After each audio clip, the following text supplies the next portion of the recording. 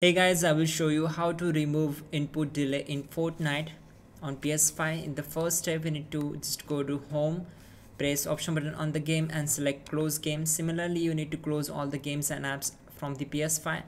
Then select settings. Now just go down to save data and game app settings, select game presets and then from the performance mode or resolution mode, you need to select game default once done go back to the main settings then select network choose settings and then select setup internet connection.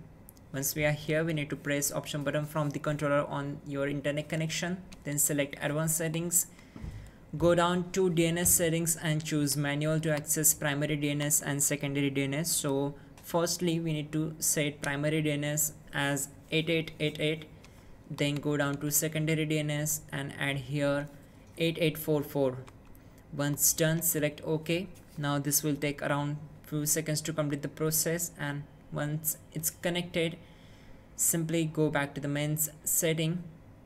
Here we go. As I said you need to close all the games and apps from the PS5 once done go to users and accounts select other and choose restore licenses. Select restore. This will take around 4 to 5 seconds to complete the process once done, you need to simply restart your PS5 and your problem will be fixed. That's it guys, you're good to go.